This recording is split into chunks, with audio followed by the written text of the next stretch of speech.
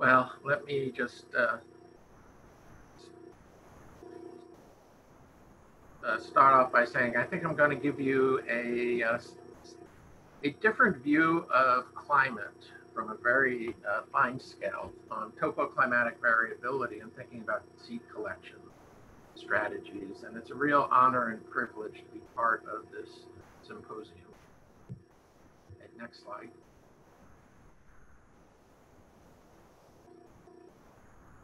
So, you know, as we've been hearing and as we all know, uh, plant adaptations to climate are really pervasive. It's the basis of seed zones, uh, frost, heat, and drought tolerance, phenology. There's adaptations at the enzymatic level where different alleles have different temperature optimum. There's adaptations at a morphological level like root to shoot ratios. Uh, and climatic selection is very strong and can overcome short distance gene flow, which means we get very fine scale genetic mosaics where we bothered to look. And so capturing a range of climate adaptations is essential when developing uh, seed stock that needs to be spread in complex terrain across multiple sites. So, so we get the right climate adaptations in the right spot. Next slide. So by climate, uh, we have to define what scale we're looking at. Uh, the macroclimate is this global circulation and the synoptic meteorology, and it's like the difference between Northern California and Southern California. The mesoclimate is where we're looking at things like coastal inland gradients, elevation gradients, rain shadows, and this is the scale at which seed zones are really laid out. It's the topoclimate where we get to the fine scale terrain uh, factors like uh, solar radiation on north versus south slopes, relative elevation, frost pockets. And finally, we get down to the true microclimate, which is the vegetation canopies and um, other fine scale surface features. Next. So I'm going to be really concentrating on the topoclimate. So I'm first going to go to the Pepperwood Preserve in Sonoma County. It's about 3,300 acres. Next. And we laid out uh, an array of these little hobos, uh, small temperature sensors across the preserve on north slopes and south slopes, canyon bottoms and ridge tops and mid slopes. And uh, when you look at this graph, you can see there's a lot of temperature variability of minimum daily temperature. So that the, uh, the black line, uh, hit the next slide. Yeah, keep that. The black line is the weather station up at the top of the preserve. Um, so you might say, oh, that's the climate of Pepperwood. But if we look at this finer scale, we see there's a huge amount of variability. Next slide.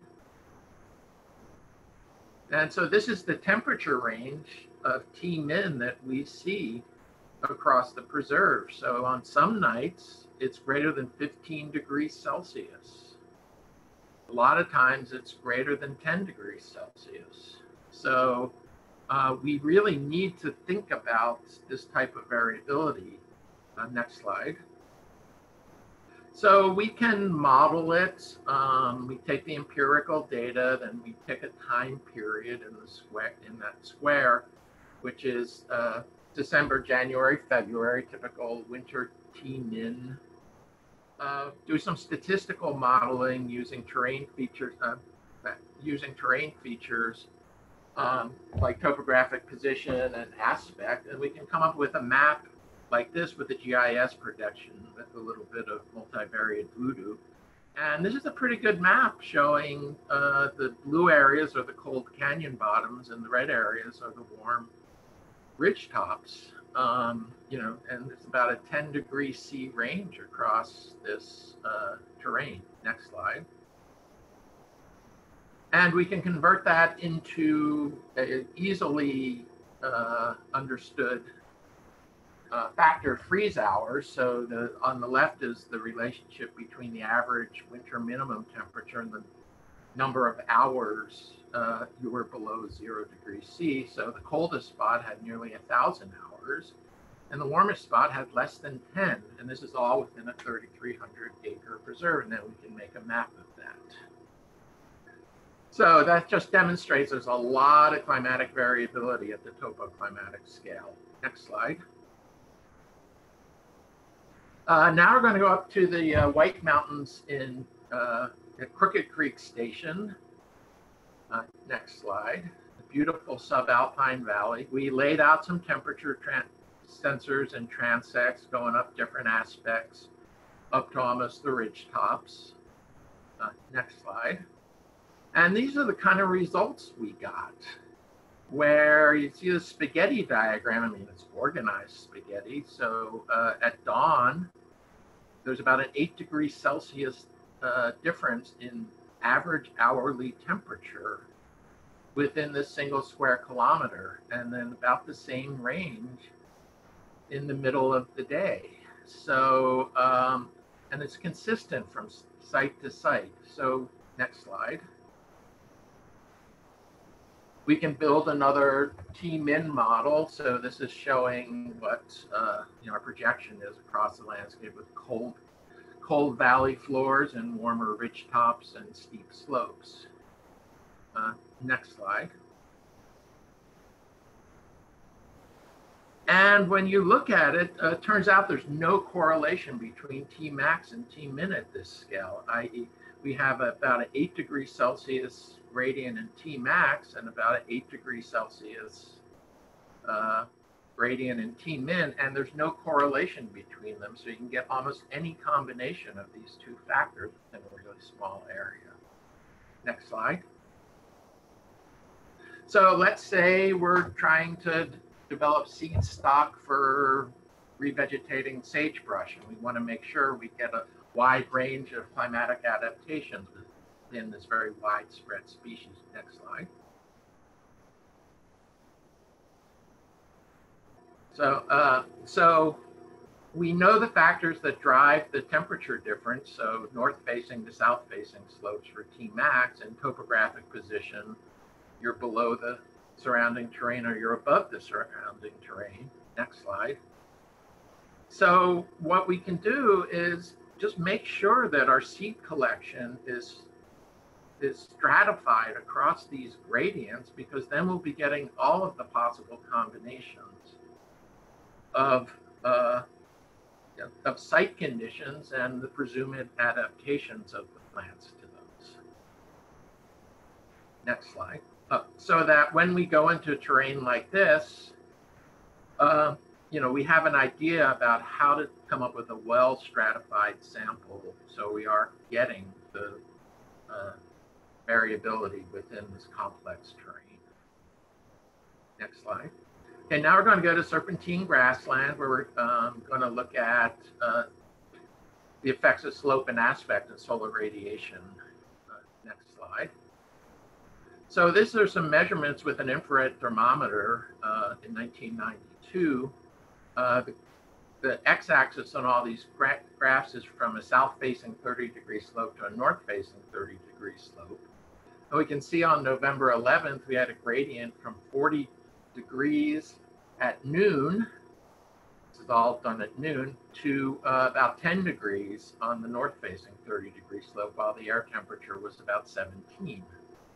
Same thing, patterns carry out throughout the year on December 16th, about 30 degrees on the south facing slope, and it's close to freezing on the north 30 degree slope because uh, that slope, that north slope, is in deep shade at this time of the year and never warms up. And this is the environment in which plants are germinating. So it's just, you know, you're going to have a hard time if you're adapted to the south facing slope of being over on the north facing slope. And these are very strong uh, and consistent gradients. Next slide. And they express themselves in the phenology of the plants. So this is from a 1988 paper, I forgot to put the reference on, but showing the flowering curves of Lasthenia um, on the south fa southwest facing slopes, the flat and the north facing slopes. And if you want to get, say, an early flowering genotype, you're not going to go to the southwest facing slope and say, this is the south face, this is the early genotype. What you need to do is select the phenology within the topoclimates, not between the topoclimates, because the effect of this of the radiation environment is an environmental factor that's leading to different temperature accumulations. So keep that in mind. So um, I think the point here is there's a lot of hidden genetic variability in complex terrain that we're never going to get the um, explicit, but we can account for it by um, sampling across uh, well-known and uh, documented topoclimatic gradients. Uh, thank you.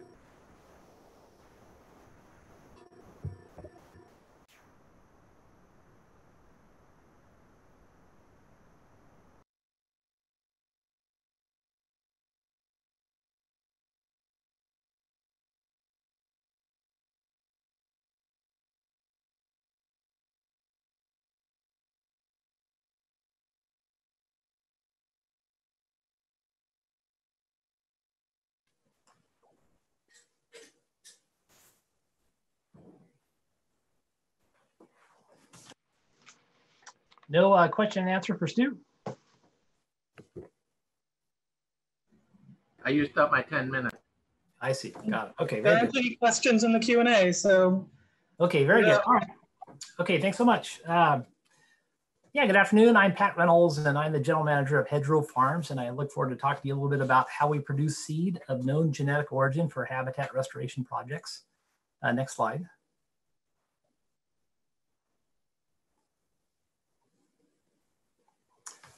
So Hedgerow Farms uh, was founded in the 1980s by John Anderson. Um, many of you may have heard that John Anderson passed away this year. Uh, may he rest in peace. Um, but John left a legacy uh, for all of us to enjoy with the setup of Hedgerow Farms, where we're able to produce uh, so many thousands of pounds of seed of known genetic origin for habitat restoration projects. And today, Hedgerow Farms has about 350 acres in production. Uh, the farm has around 100 acres of habitat uh, surrounding and bisecting the farm.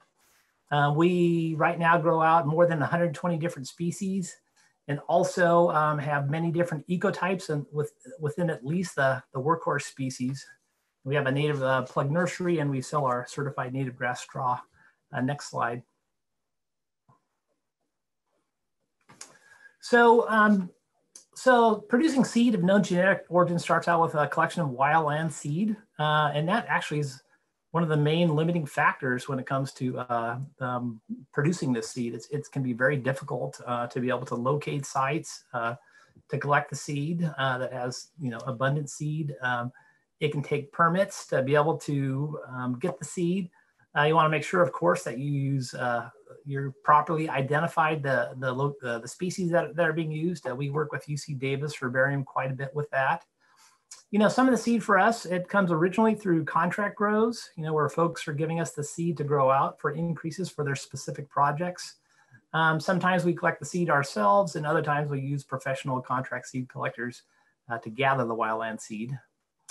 And then, um, so the, the collection site documentation is really important, uh, as you can imagine. Um, you know, uh, the most important thing, of course, is the is the coordinate location. And like Stu talked about, um, things like aspect and elevation can certainly have a, a uh, an influencing effect on the seed. So that's important to have. Um, having information on soils, associated veg vegetation, and other things can really make a difference as well. So at a minimum, you know, we try to get the coordinate location, but uh, whenever possible, um, you know, uh, getting additional data can help with uh, restoration projects. Uh, next slide. So, you know, um, so one of the things that we try to do is, is, is uh, maintain the local genetics to the extent possible in our agricultural settings here at Hedgerow Farms. Um, and so we go through a lot of best management practices in order to do that. Um, one of the things, uh, sort of the primary things we do is how we place the fields. If you look at that uh, aerial photo on the right-hand side there, you can see all of those different colors. Um, each of those colors represents a different ecotype or a different species. So you can imagine what it takes to figure out how to lay this thing out, how to lay our fields out in order to maintain the genetic integrity um, of these sites of our, of our material that we're producing. So one of the things that we try to do is we try not to um, grow the same species within the same year if possible. So we use time, you know, as one of the primary considerations when growing that out. So that eliminates any potential cross contamination. Um, but you know, to, to be honest, uh, most of the time we don't have that uh, that luxury, so we have to use other measures uh, to try to minimize potential cross contamination. Um, that includes distance as the primary measure. You know, we try to maintain um, certain distances depending upon the species and their breeding systems um, uh, based on uh, available literature and information from the California Crop Improvement Association. Um, and with that, we take into consideration other things like prevailing winds, um, whether there's barriers that are present. Uh, hedgerow Farms, luckily, is uh, uh, has hedgerows throughout the fields. Uh, those hedgerows uh, do a great job of capturing pollen and uh, altering the, the flight patterns of bees. So we use that as part of our means of maintaining that, that local um, genetic integrity between ecotypes. Next slide. So planting uh, seed of known genetic origins usually starts uh, with planting seed uh, with a Truax seed drill uh, in the fall. Um, oftentimes though, we don't have enough seed available. So we have to take that seed, uh, grow that out into containers and then plant that into the ground. Um, takes about 25,000 um, plugs to, to fill a, an acre um, to give you a sense for the scale that it takes in order to produce um, uh, this kind of seed. Next slide. So harvesting is a really important part of the process. Um, uh, whenever possible, we use our uh, flail vac. It's a it's a it's a stripper that's you can see a picture on the, the bottom left there. It's a stripper that's uh, attached to a tractor. Uh, it gives us the ability to harvest the seed on multiple passes, so you can actually capture the seed uh, during early, mid, and late. So you get you capture more of the genetics when you use the, the flail vac. Um, but a lot of times, the, what we use we end up using uh, as part of harvesting is called a swather, which is the picture on the on the bottom right there. Uh, basically, it just cuts the uh, the plant material a few inches off the ground and puts that into a windrow. Next slide.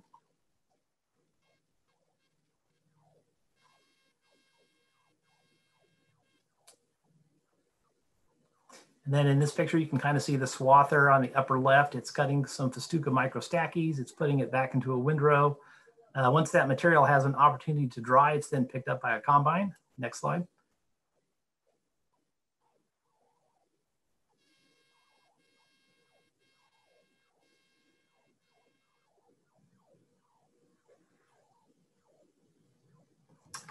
Okay, um, so a lot of the seed though, um, you know, that it ripens indeterminately. It, it, doesn't ripen at the same time. And, and a lot of the material we can't uh, use the flail vac to harvest. And so what we do in that particular case is we have to actually harvest the material by hand. Uh, milkweed is kind of the classic example of that. Um, sometimes for, uh, some of our milkweed fields take more than a month uh, to harvest it. Um, it's folks uh, pulling pods off of plants, um, you know, every two or three days basically. And, and uh, it's a very labor intensive process, but that's what we need to do in order to be able to maximize the yields on these, on these fields. Next slide. So seed cleaning is an important uh, part of the process with uh, production of the seed. It starts actually with, uh, with the combine. Um, the combine is a remarkable piece of equipment that really does a great job of separating that seed from the chaff. Um, the combine, um, we, we take the material that's been harvested with the combine, we put that out in tarps, uh, let that dry out. And once it's sufficiently dry, uh, it gets moved into our cleaning mill. And if you kind of look at the picture on the upper right, um, that's a, a, that's the first piece of machine that we use to um, clean clean the material. It uh, has a series of agitating screens that separate the seed from the chaff. If you look on the lower left, uh, that's called an indent. Um, it's a, a, uh, basically a cylinder that has uh, uh, different dimples on the inside and it separates seed by shape. And then if you look at the bottom right, uh, that's called a gravity table and that separates seed by weight. And with that, it kind of separates the light seed from the heavy seed, right? The, the oh, back to the old slide. Um, so um, with that, um, uh, you end up, uh, the light seed, of course, has lower germination and the, and the um, heavier seed has higher germination. But kind of one of the big things here is that uh, when you're growing out the seed, uh, each and every time you use a piece of equipment, it has to be thoroughly cleaned, right? We cannot uh, have contamination between ecotypes or uh, as part of the process. So for example, um, with that, uh, with our combine, it can take three guys two hours in order to clean out that combine. And that's just one piece of equipment in the process. So it's very labor intensive. Next slide. So kind of the good news uh, is that uh, nowadays there actually is quite a bit of seed of known genetic origin uh, in Northern and Central California that's available for habitat restoration. We have a really good website at Hedgerow Farms. It's got a sortable database in there. Um, with that database, you can sort by uh, county or by uh, species uh, to give you a pretty good sense of, of what's available. really a powerful tool when you're trying to design for habitat restoration projects. It also includes a, a, map that shows the, the collection site locations, which is another handy tool to have available when you're trying to design habitat restoration projects. Uh, next slide.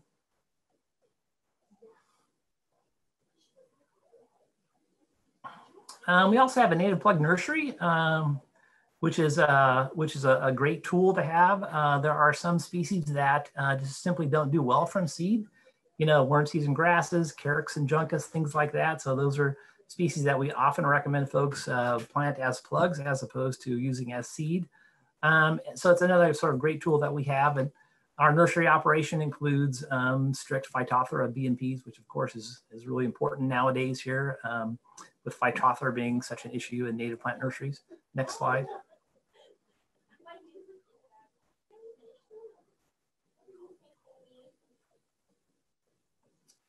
And then, then finally, um, at Hedgerow Farms, we do a lot of uh, contract grow, uh, seed increase contract grows where folks um, really need that very local, local material for their projects.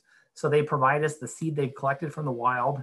And then we'll take that seed, and if we have enough seed, we grow it out uh, directly into the field. Um, but if we don't have enough seed, uh, then we grow that out into containers, and then those containers go out uh, into the field. So well, I think that's it. Um, I don't know if I have any time left uh, for my recording, but um, um, if I do, I'm happy to answer any questions.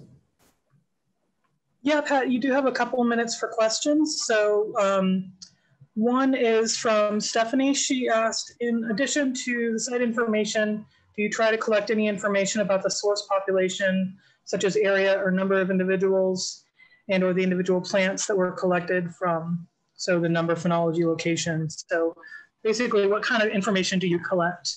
about your source population? Yeah, that's a that's a great question. Um, you know, we don't uh, collect that info that much information about the the number of the source population when we collect. Um, you know, a lot of times the material comes from others, from clients that give us the the seed, or uh, or from uh, professional contract seed growers. So, you know, other than location, uh, soils, associated vegetation, uh, we don't collect too much additional information um, beyond that.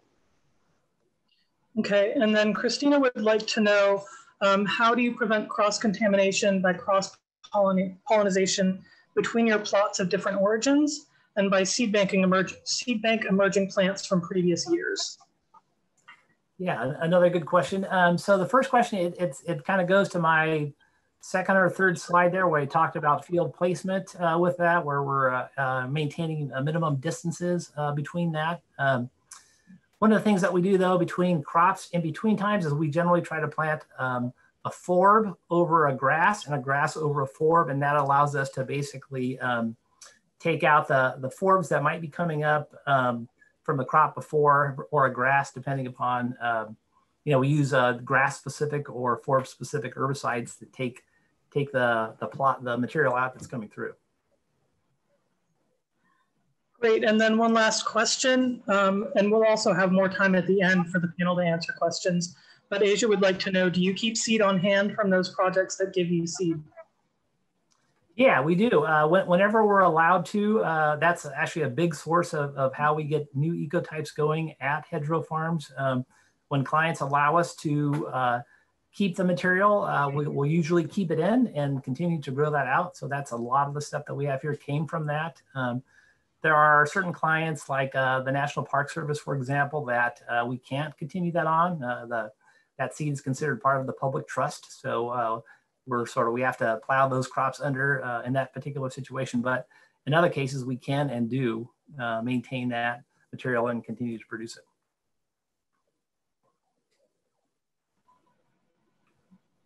Okay, we're going to move on to our next speaker now.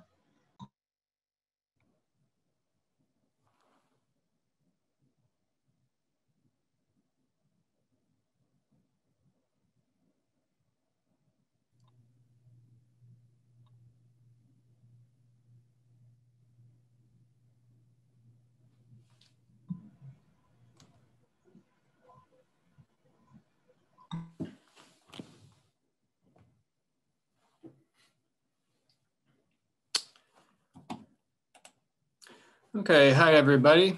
Uh, I want to thank everybody for listening to my talk today. My name is Dan Shryock, and I've been an ecologist with the USGS Western Ecological Research Center for about nine years now. I work under Todd Esque and Leslie DeFalco. Um, next slide, please. So much of my work is focused on our native plant genetics program. And this arose in part due to the National Seed Strategy, which recommended a series of actions to improve restoration outcomes across the US. So two of the key goals that this um, strategy recommended were to provide genetically appropriate seed and to develop tools that enable managers to make informed seeding decisions. So our program has largely focused on advancing these goals within the Mojave Desert, which, as we can see from the map on the right, is actually one of the larger floristic provinces in California. And so my goal today is just to try to give an overview of how we use landscape genomics for native plant restoration in the Mojave. And we'll use the most recent species we've genotyped as a case study. Next slide. But first, um, before I dive into the genomics, I want to take a moment to discuss the Mojave because I don't think anybody's talked about that yet today. And it, it, really, the region really epitomizes a lot of the different challenges in native plant restoration. So the Mojave is home, of course, to the federally threatened desert tortoise, which does afford protection to critical habitat areas but the Mojave has also been a nexus for utility scale renewable energy development. And at the same time, uh, invasive species, especially red brome, have increased the frequency of wildfires. And desert vegetation is very slow to recover um, from fire because it's not a natural um, thing in the desert. So when we, and then when we do, Oh, let's see, like my slide changed there. So when we do try to reseed these areas, rodents in the Mojave, rodents and ants can remove large quantities of seed, or we may not get enough precipitation for growth. Um, there's also been some evidence that temperature extremes are impacting desert species. So what all this together means is that, is that there's really a very narrow win window for successful native plant restoration in the Mojave. And so we need to try to control as many factors as we can to be successful. Next slide. Now, one of the factors that we can control is how we select and introduce native seeds during restoration.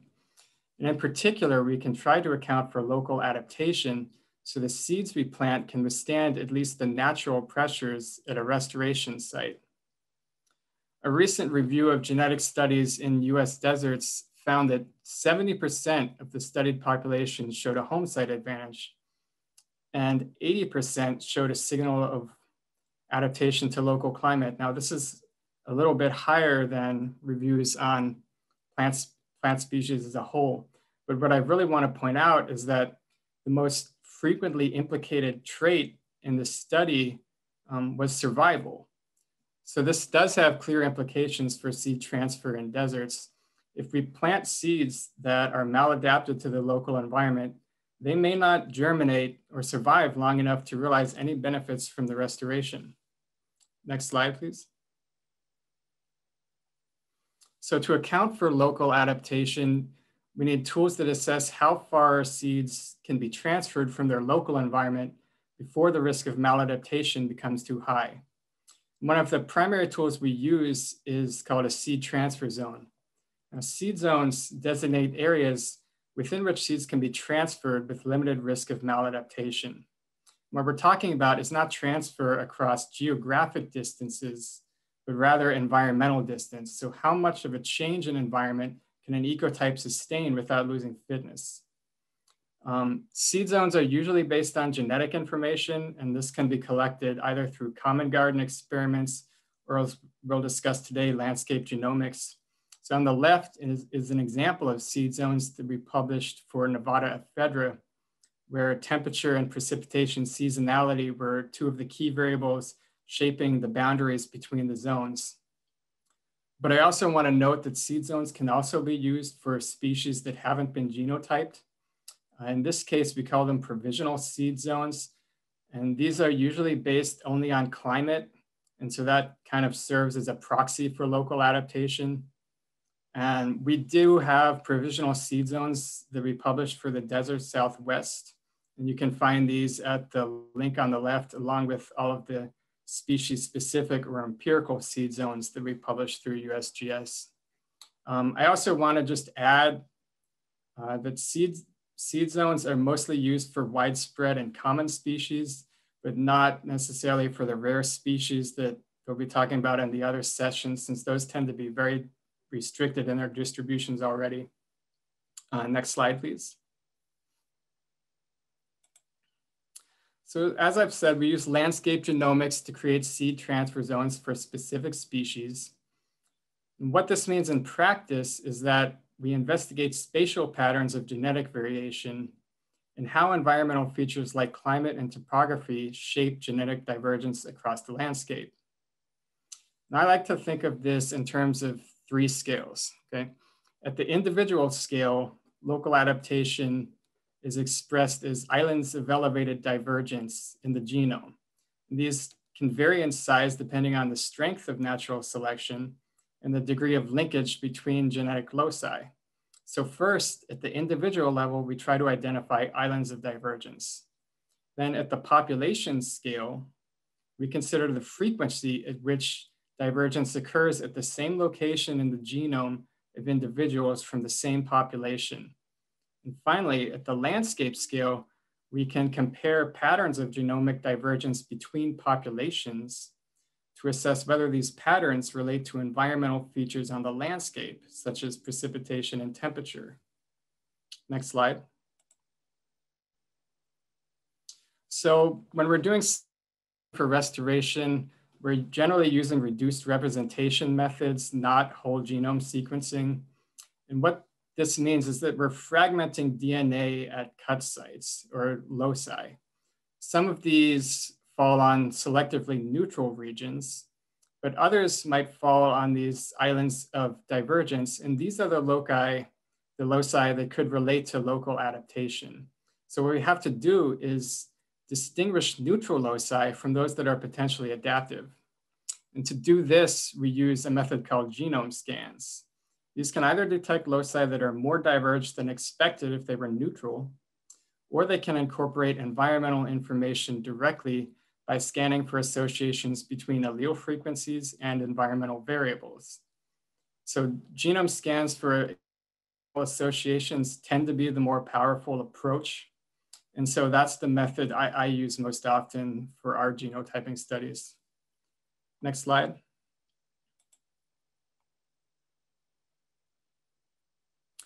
Um, so far through the Mojave Desert Native Plant Program, we've genotyped three native Mojave Desert plants. Um, and these were all considered priority species for seed zone development. Our aim with these studies is to genotype from 40 to 60 populations. This is something that's actually only become possible over the last five to 10 years.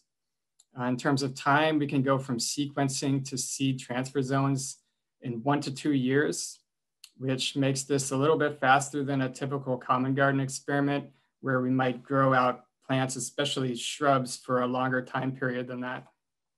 Next slide.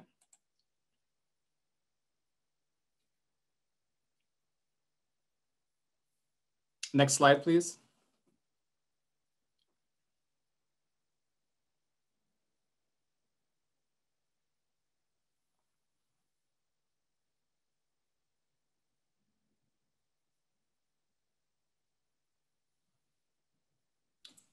Do you Uh, see can- the slide? Can we go to the next slide? Yeah, it's on on my end. Okay, I I have it now, thanks. okay.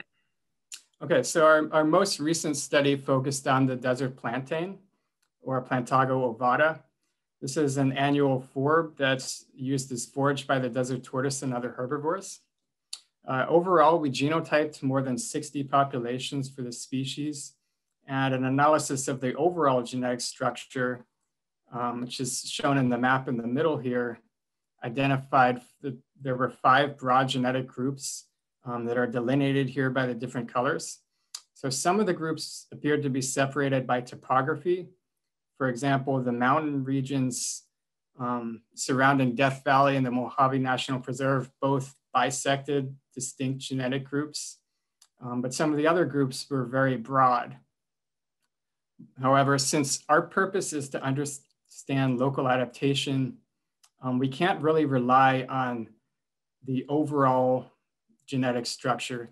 And this is because local adaptation can often occur at a much finer scale than that. And it can even be independent of neutral genetic structure because populations can still locally adapt um, even when they're connected by gene flow and might appear in the same broad genetic cluster.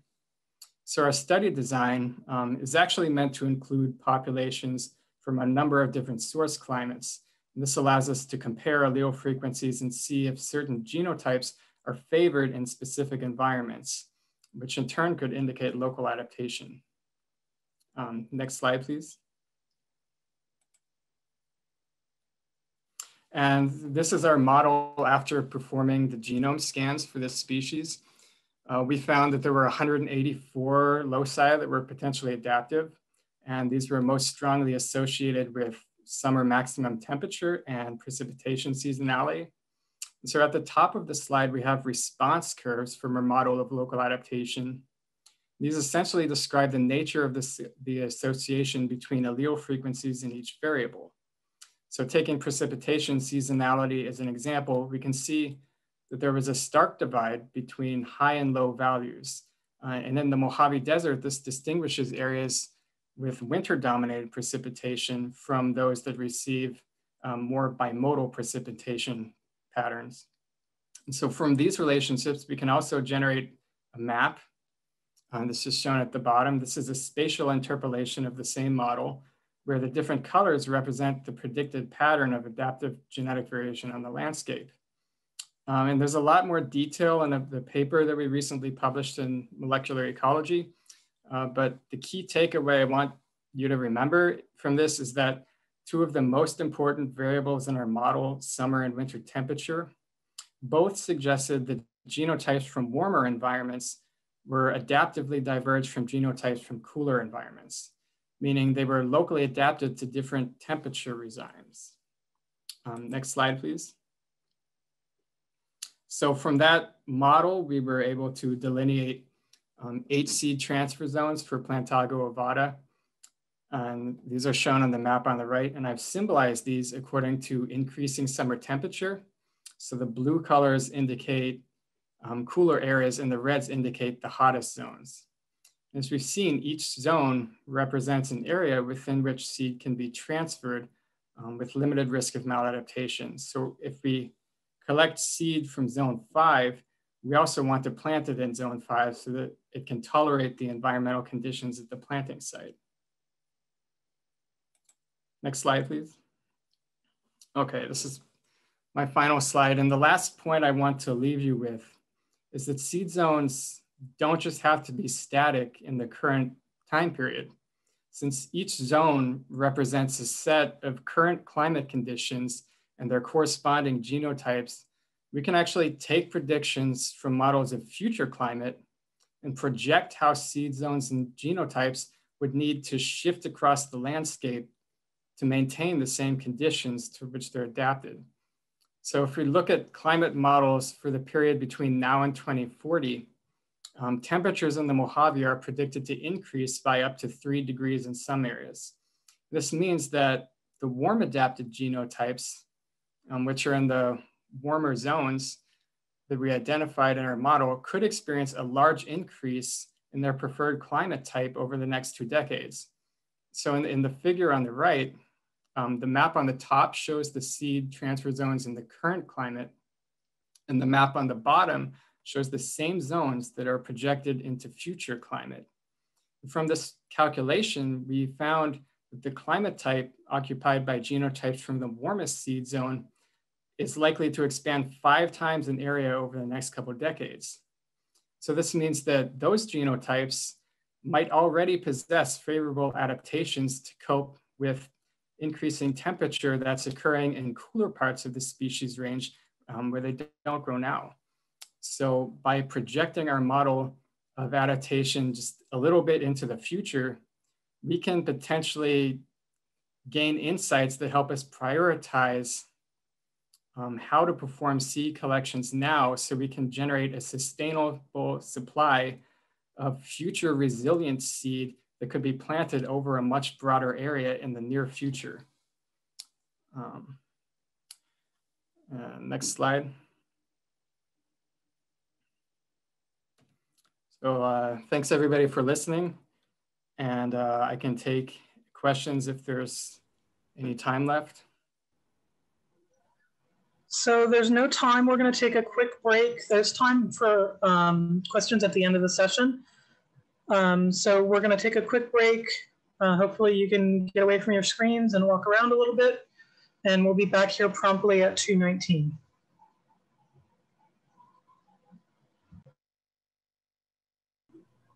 Okay. Uh, hello, everybody. Thank you uh, for sticking around and thanks for the invitation, CNPS, to uh, present here. Dan's presentation just before this one was so lovely and detailed uh, that I, I, feel mine will be rather simplistic uh, in comparison.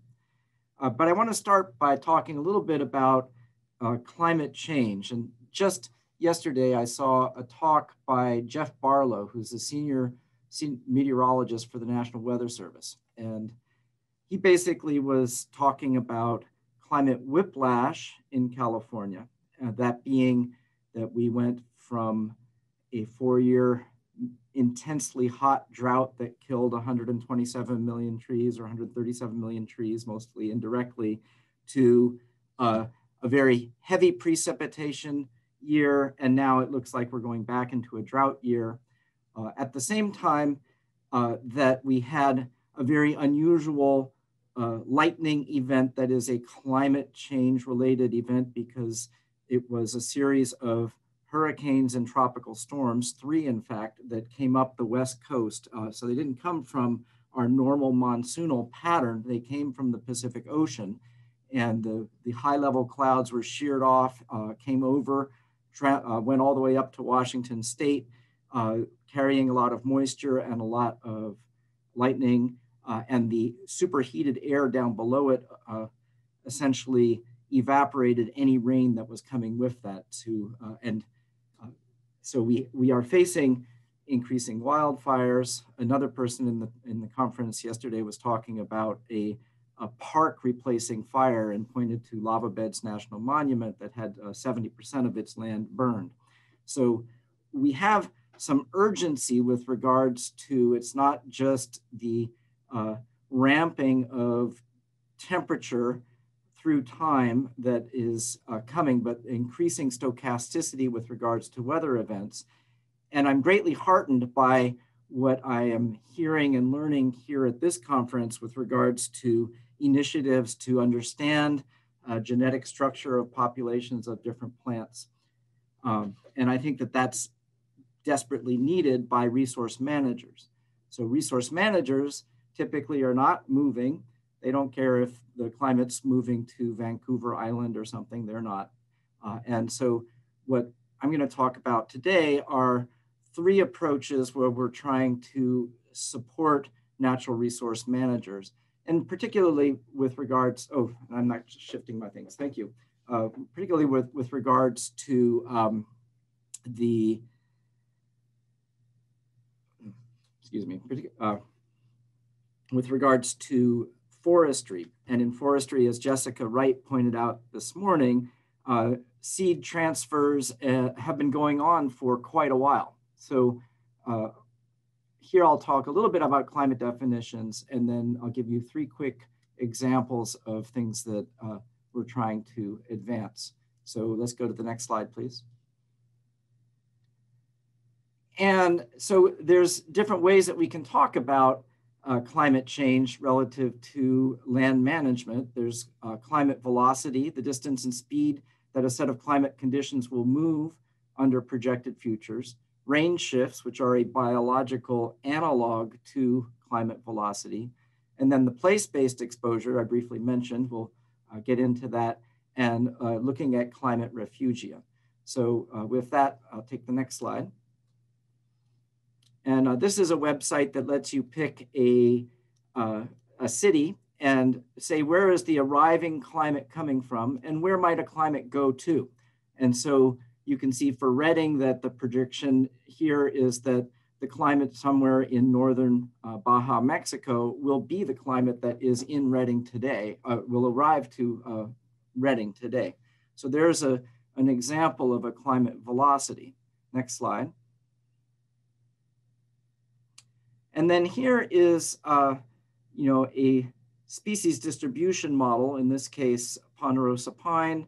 Uh, and, you know, we have from the Herbarium Consortium and California GAP and forest uh, plots and CNPS plots and rapid surveys, uh, many points, and we can use those to develop a, a correlated based uh, measure of the current and future uh, range of the species based on different environmental climatic conditions. And so under a hot and dry future, on the left, the, the green is the area that re, is retained, the area, the red is the area that's lost, and the blue are areas that become climatically suitable. Doesn't mean that Ponderosa would establish in those areas, uh, but uh, that's many, many papers have been published using species distribution models of one type or another. And under a wetter future, there's more. Uh, it's okay, yeah, you can jump. Uh, so then uh, one of the tools that we're working on, we're doing this project with CAL FIRE, where they are reactivating a nursery here in Davis, the LA Moran Reforestation Center, with the intention of trying to supply conifer seedlings to the private lands. So of course, California is about 50% public land and 50% private land. And CAL FIRE, in addition to uh, doing yeoman's work is trying to, uh, fighting fires is trying to assist with some restoration thereafter. So this is a, a, tool that will be coming online and it lets you pick a, a location. So I picked Yolo County here and the purple is, this is the area that has some similar uh, climatic condition uh, to the flats of Yolo County today. Next slide. But if we were looking into the future and we wanted to, we were doing some restoration in Yolo County, uh, by 2040, the climate that Yolo County will have are the locations that are shown in green here on the left. And by 2070, the climate that Yolo County will have is shown uh, on the right-hand side. And so when we're thinking about restoration, uh, should we really be, I love the idea of uh, using a broad genetic mix of seeds from a local area for the local adaptation. But if your uh, species will live for 70 years, then is that really the, the best bet given what the future climatic conditions will be and uh, the adaptive capacity, the survival capacity of that species. Next slide. And indeed, if we go a little further along the, the pathway down to 2100, then under a hot and dry, here's where, uh, you know, here comes the climate for uh, Central Valley central locations. The other piece of this tool, next slide, is that you could pick, you can pick a location and it's picking by uh, a seed zone uh, as the ones that uh, Jessica Wright mentioned before, and then it's breaking it into elevational uh, bands within that. And it allows you, the tool will allow you to pick the location that you are trying to restore or trying to do some work at, and to look at temperature by 500 foot elevation band within that seed zone. And so the, the pink and the green are historical uh, temperature values in this case for uh, the Yolo County area. Uh, and then the yellow, the tan, and the gray lines are indicating the increase in temperature uh, into the future, uh, with the gray being at 2100 and uh, the yellow being uh, proximal mid-century and end century for that location. And so being able to uh, approach this not only from the perspective of what's the potential range of a, a species or a genotype, such as what Dan was describing, but to say, okay, here is where we are, here's where we're working, and what will the, you know, let's anticipate what the future climate's going to be here. What does that uh, add to our considerations when we're looking at restoration? Next slide. So the second thing has to do with uh, the seed collection for conifers. And so uh, it turns out that you know there's these large walk-in freezers that are located at various different locations and that's and in them are thousands of plastic bags of seeds for ponderosa and douglas fir and other coniferous tree species. And that's our restoration stock right? So those things have been being moved around and whatever for uh, many years but that's what we have. Next slide. And uh, if we think that uh, individuals or populations that are coming from uh, low elevation locations uh, might be the ones that we want to plant in anticipation of our site condition, then we need to uh, get out there and start collecting those. Next slide. So for ponderosa pine, we can take uh, a map of the habitat types that ponderosa pine occurs in. And I'm just going to give you a little example from the Sierra of a triage tool that we've developed. Next slide where we can say, okay, based on the range of the species, here's a map that of uh, conifer that might have that species in it. Okay, next slide uh, for this uh, uh, section of the Sierra National Forest. And then here's the level of current exposure uh, for the locations that might have ponderosa pine. Next slide. Um, there we go. Uh, and here's where what happens to the level of climatic stress for those populations. Uh, so if we want seeds from the warmer areas, we maybe need to get into those red zones now and collect those seeds before they uh, disappear in fires or other things. Next slide. So we can take that map and we can drop it onto some other maps uh, to help guide uh, searchers who are looking for seeds. Next slide.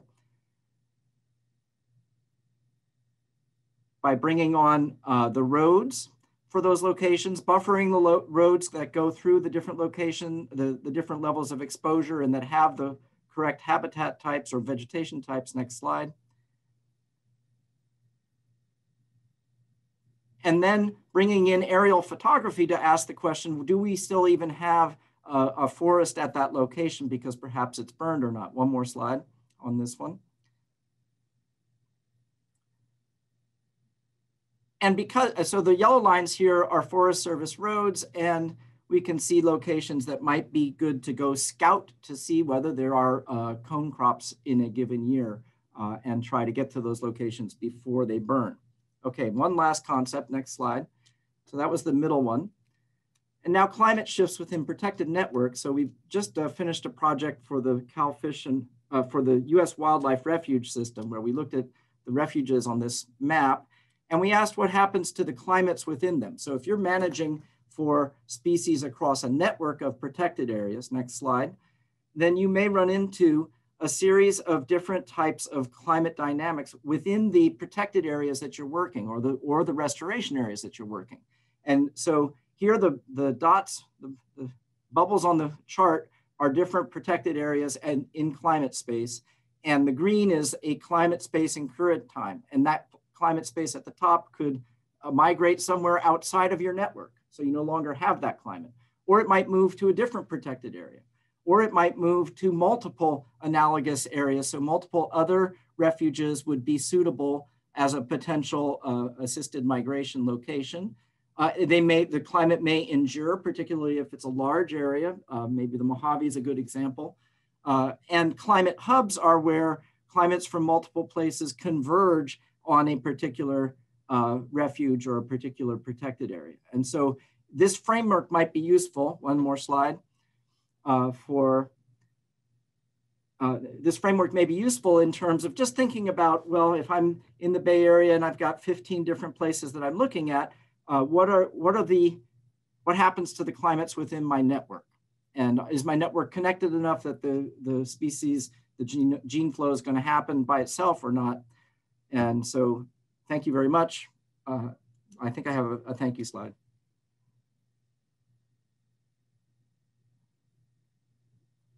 And that's it.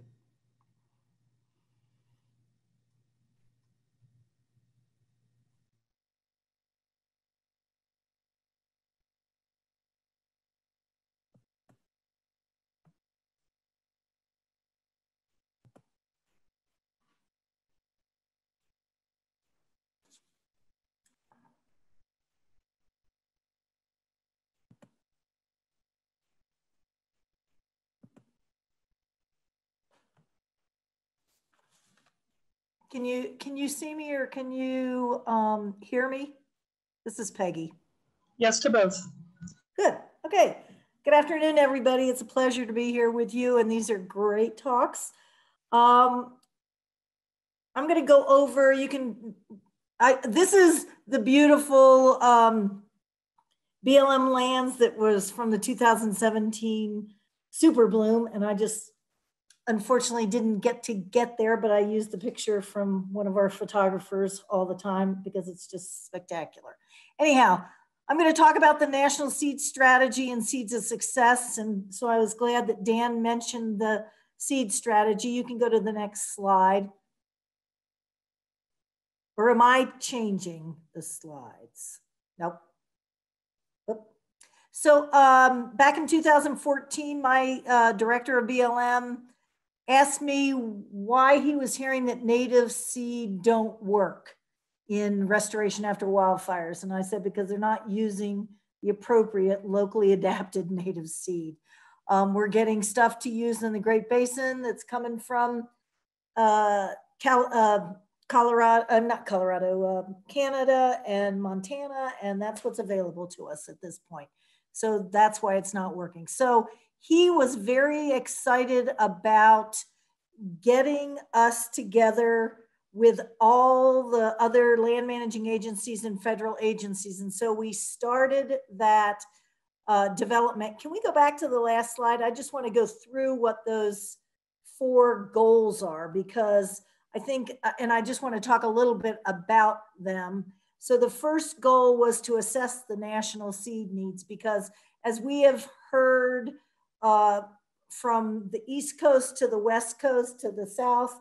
Uh, we're, we're all getting uh, climate um, events and we're all having the need to get seed.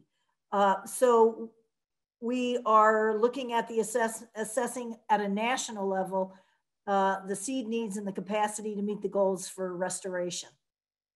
We're also working, and I was glad that uh, Dan you know, the, the, the largest goal or the most expensive goal in our national seed strategy is the research. So goal number two, conduct research to provide genetically appropriate seed reserves and improve seed production. So there is a lot that we need to be doing in that goal to get the right stuff out there on the ground. The third one is developing the tools to enable the ecological restoration to be conducted by the land managers. And then the fourth is communicating and outreach of that to um, the staff at the 12 federal agencies and all of our partners throughout the Plant Conservation Alliance and other stakeholders. You can go to the next slide. The highest priority uh, action that was uh, discussed at the time that we were developing the seed strategy was the national assessment. So in 2019, BLM and others um, worked with the National Academies of Sciences, Engineering, and Medicine to um, contract with them to do an independent, unbiased study on this. And they're going to identify steps to improve deficiencies in the number and diversity of native species commercially available, as well as a few other things. But what I really wanted to get at here is that they are they have just finished phase one and they are providing that report to us and to Congress and the public. It'll be available to the public at this um, uh, website that's at the bottom of this page, and we'll make we'll we'll get that out there to everybody because phase one is just the beginning of this. So they have developed a study group. It's headed by uh, Dr. Susan Harrison out of UC Davis. And um, those folks have finished phase one, which is, is sort of figuring out what the issue is and what the supply chain looks like now and how we can make it better. Um, once I want to make sure that California gets engaged with us on phase two of it, which is really the assessment, and, and they will be sending out a survey for folks to see what the needs are in you know your area in your land that you're managing that you want to restore and what the capacity is. Um, next slide please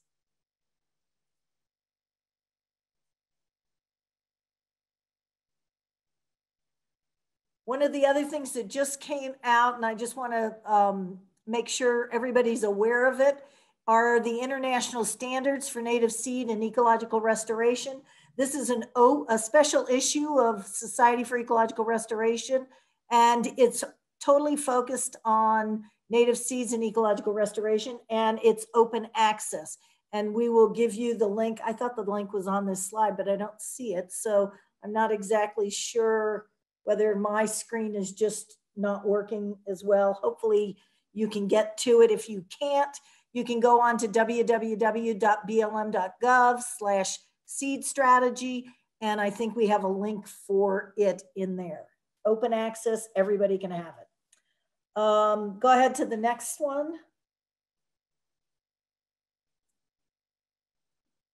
I just want to go through what we view as our native plant materials development cycle uh, in the federal agencies and how we're working on it.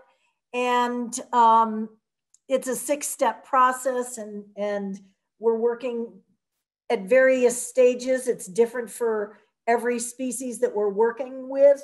Um, but as you can see, steps two, three, four, even five and six, those are all fairly research related. And um, uh, we're doing a lot with our partners. We're not doing it all. The um, we can go to the next slide. I'm going to focus here on the seed, native seed collection, step one in our process, to give you some ideas. So the mission of Seeds of Success is to collect wildland native seed for research, development, ecosystem restoration, and germplasm conservation. And we started this program in uh, 2001. And um, so we've been at it now 20 years of collection. You can go to the next slide.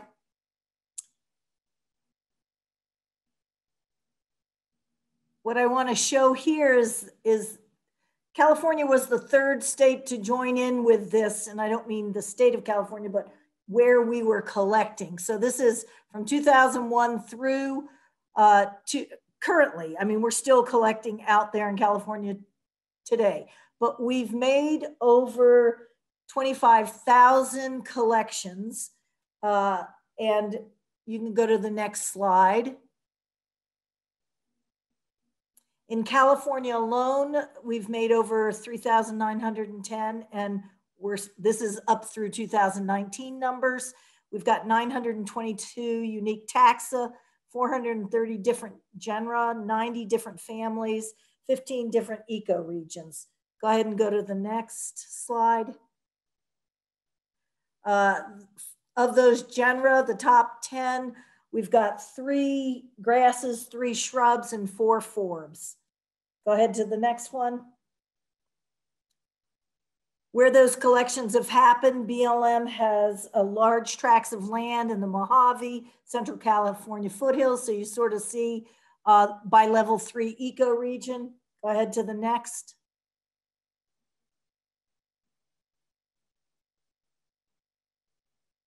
So I just want to talk a little bit here about a procurement tool that we have put together in BLM uh, to work with our seed warehouse system and work with growers. So in 2018, we put out um, a, a, request for bids on 40 on 41 grasses and 70 forbs um, that were are requested by state and eco regions. So we're looking to use the provisional seed transfer zones in this. This is the um, contracting process, and you can see we started with $2.5 million on this. And the important part of this is that we're viewing this as a checking account. And right now, our, our um, working capital fund, as we call it, is at $10 million. And it's a way for us to take the risk out of the growers and the government is taking that risk. What's what's happening is we've got, we've got um, let's say this year we're doing I think 10 different contracts uh, worth about three million to four million dollars. Uh, the growers will grow that material out. They'll put it back into our seed warehouse, the National Seed Warehouse System, and then our seed warehouse will sell that material to various restoration projects. And it can be any of the BLM field offices that could buy it. It could be an, it could be the state of California that buys it. It could be the um, a tribe, uh, any number of entities. I think we out of our seed warehouse sell to 40 different entities at this point. The really uh, important feature here is that that money that the seed warehouse sells that that material, that's those seeds for, goes back into the working capital fund. And so we are able then to do species X, Y, and Z from ecoregion five, six, and seven next year. And then that process will happen over and over again.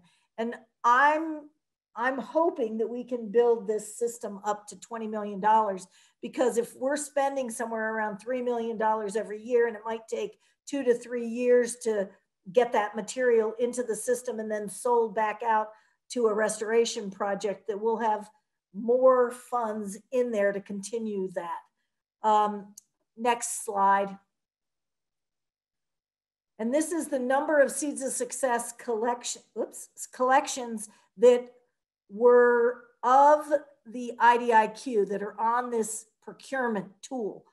Um, so 85 unique taxa have been collected that are on that.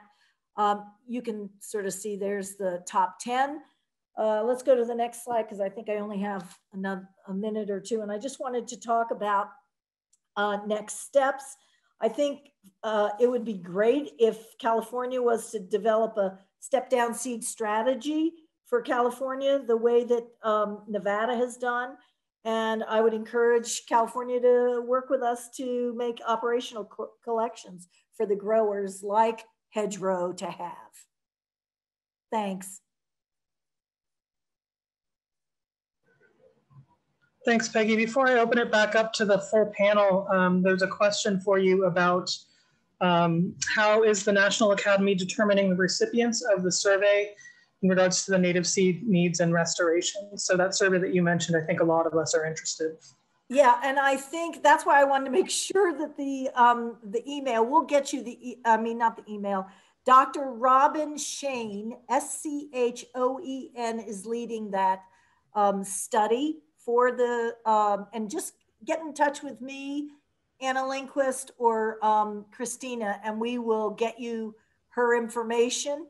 Uh, but I think you can go up onto the National Academies of Sciences website and they will have, if you just put in national uh, seed assessment, I think you can find it just going onto there and it'll have a whole, um, if you want to get mail emails about it. You can sign up on the National Academies of Sciences. And I know that uh, uh, phase one report's going to be coming to BLM probably in the next week or so.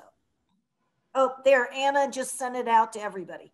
The, the link, it's on, it's in the chat. Great. Thank you, Anna. Thanks, Anna. Um, so I'm going to invite the other panelists to unmute, and we have a few questions to answer in the last 15 minutes before we take another break. Um, Peggy, while you're still uh, on the mic, there's a question from Andy. The current published national seed strategy period is 2015 to 2020. Will there be an update and renewal of the national seed strategy? Oh, I forgot to say that. Yes, there will be. We're going to do version 2.0. So if folks want to get engaged with us to do that, it, we're just now working on a progress report. Um, my understanding from uh, Molly McCormick at USGS, who's pulling it all together, is that we had 500 projects that um, came in from the federal agencies uh, that are showcasing their the implementation of the seed strategy 2015 to 2020 but version 2.0 we're going to be in the process of um, of working on that in the next six months Great. And a question for the panel from Stephanie that I think Pat um, would like to jump in and answer about um, whether California has yellow tag source identified certification available through the California Crop Improvement Association. Um, yeah, can you hear me? Yep. Yeah, okay. Yeah. Um, yeah, so uh, CCIA, um, uh, it, it start, restarted the native seed program that it had going here about 15 years ago, just a couple of years ago. And um, yeah, it, so now you have the ability to get seed certified. And uh, Hedgerow Farms, we were the first folks to get certified. They're called yellow tags. Uh, it's a process where uh, the wildland seed locations, uh, where the wildland seed locations are documented. Uh, someone comes out to the field um, uh, to, to, document growing, and then they evaluate the seed tests at the end. So it's a good program. we're trying to get um, all of our new seed that starts into the certification program, but it's it's all stuff that's from the beginning, and so it, it has to be the the new starts. You can't grandfather in anything else. So there's not too many things yet that are yellow tagged, but um, hopefully we'll get a lot more moving forward. Great. And does anybody want anybody else want to jump in and talk about the advantages and disadvantages as seen by various stakeholder groups of a yellow tag certification for seed lots if it's useful for native plant seed versus um, versus quote unquote regular crops.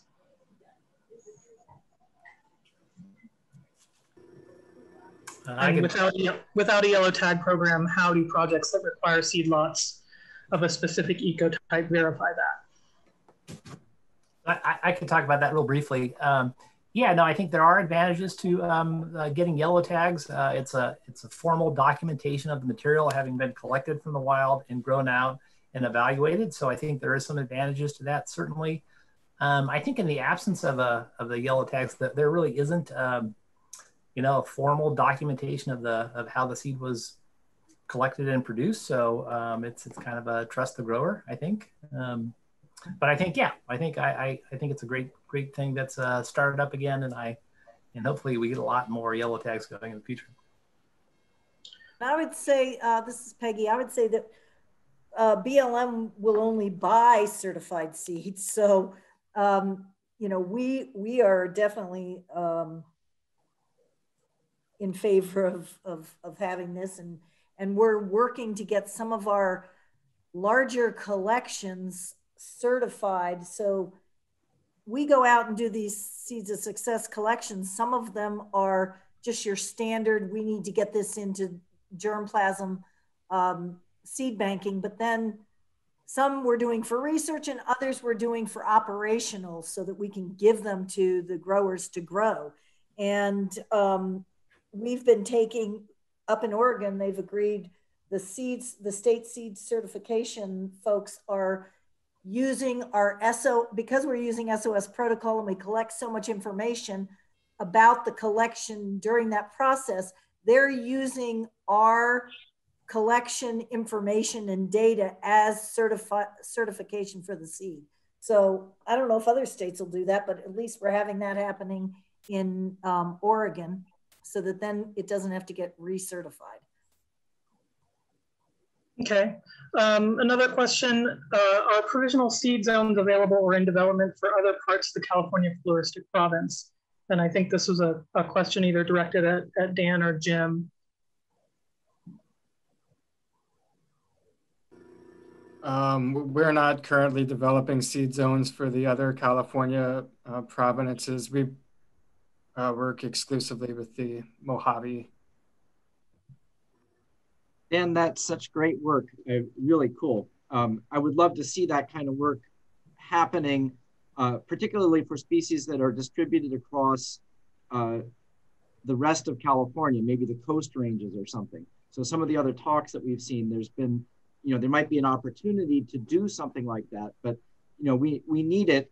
The the Forest Service is basically using these these blobs on maps that are not related to plant genetics, other than you know, sort of the the uh, uh, thumb thumb guidelines of keep it keep it as local as possible within 100 miles and 500 feet or something, right? And so, you know, we've broken it down to look at the analogous climates uh, in those with regards to those because that's what the current uh, inventory is registered to for the for conifer seeds. So the current inventory is registered to township section and range, seed zone. Maybe you get an elevation. That's all you got, but we've got thousands of, of collections that have that. So we want to, uh, as we move to better precision and to bringing in genetic data uh, to help to inform seed zones, we still need to entrain the old information along with that.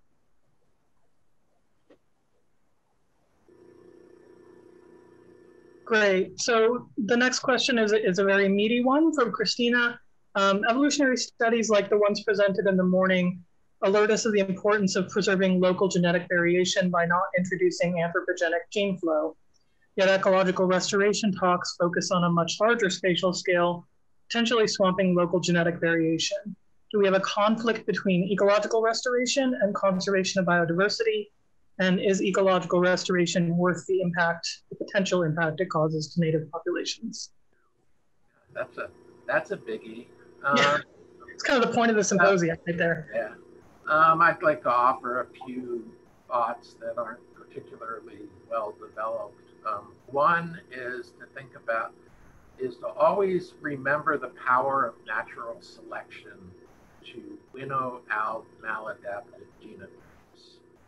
So if we're looking at adaptive genetic variation, then um, I personally have some faith that if you put in a wide enough uh, you know, genotype variability, that um, it will get selected down to appropriate uh, local adaptations. Um, on the other hand, there's the neutral genetic variation that we do so much of our phylogeny and, things with that, um, you know, because they're neutral, they're just going to get into the populations and kind of muck up what we can find out about the uh, phylogenetic history. So, but I tend to come down as I'd rather have a functioning ecosystem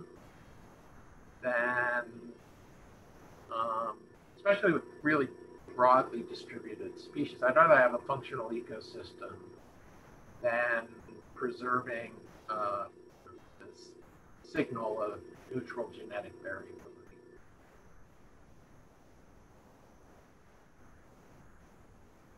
Yeah, I think. Uh, I, go ahead. Uh, I was just going to say, I think we can also draw a contrast between the types of uh, tools that we want to use um, for you know species that are more rare and already have a limited distribution compared to um, species that are very widespread. Um, we use the large scale seed transfer zones for species that already have large distributions. Um, and we wouldn't really recommend it. We're conserving the genetic diversity of a very limited species um, is a more is more important. So I think the nature of the species plays into it a lot. And the other thing is they we also try to tailor the tools to um, the reality of seed production. Because if, if we make this, if we define seed zones uh, extremely narrow, that might um, make it very difficult for you know the growers to actually produce the seeds for each zone. So we, we also want them to be a useful management tool and work on, on a scale that um, allows us to work with seed producers so that they can actually produce seed to make it available for the different zones. I'll jump in with uh, two comments. I, think it's very similar to the question that uh, a land manager faces of, am I going to try to resist climate change or am I going to go with it? If, if my, I think where I am is going to convert to a different vegetation type right? And so if we think an area is going to convert, you know, and that's the money decision. And this is a money decision as well. It's like, well, we have a, a certain amount of capacity to deal with things. And so what's going to be the, the best bet in different places? Uh, and then with the with these uh, analogous climate seed zones with uh, anticipating warming, the idea there was, say you were at, at a 2,000 feet in the Sierra and you wanted to replant a ponderosa pine stand. Maybe you would try to get stuff from lower elevation, but so that by the time those trees are mature and they're reproducing, they're in the climate that they came from. They're they're uh, they were produced in originally. And if that's the case, we may be looking at doing that more than once. We may be looking at over a, century. We might have to be hopscotching up the side of the mountain if that's a if that's a strategy that works. Right? It may not work, but but you know if that's if that's a strategy you do it once and then you might be by the time those trees are growing up now the climate's going to be another 400 feet or 4000 feet higher and you have to jump up again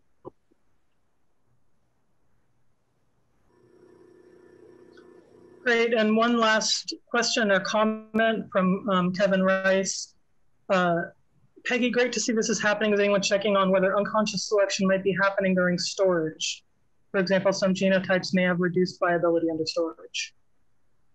So a good question. Thanks, Kevin. Um, we're just, I forgot to mention this one. We're just working uh, with Chris, Dr. Chris Walters from uh, ARS up in Fort Collins, and she's going to be looking at uh, seed longevity in our Seeds of Success collections, because ultimately, even though we have larger collections than than the seed banking every one of the sos collections has at least the seed banking aspect of it which ultimately gets the material for long-term storage up to uh, chris walters lab in uh, fort collins at ars and she and others have a a new way of testing viability looking at the gases that are or that come off of the seed so that they're not having to destroy the seed.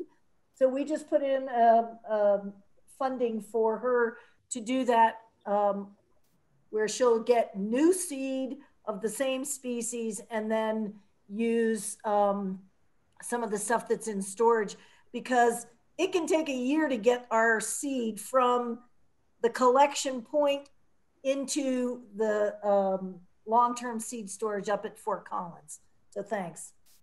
And if you want to talk to to uh, Chris Walters about it, uh, we just started it, so we're not we don't have any data or anything else. So.